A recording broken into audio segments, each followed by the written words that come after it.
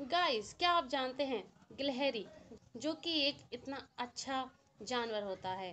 ये अगर इनमें से किसी का बच्चा मर जाए तो दूसरी गिलहरियाँ उसे गोद ले लेती हैं और बिल्कुल उसकी परवरिश करती हैं इंसान की, इंसानों के बच्चों की तरह। तो जानकारी कैसी लगी कमेंट सेक्शन में बताना ना भूलें। और ऐसे ही इंटरेस्टिंग फैक्ट्स के लिए हमारे चैनल को सब्सक्राइब कर लें। तो मिलते हैं नेक्स्ट वीडियो में।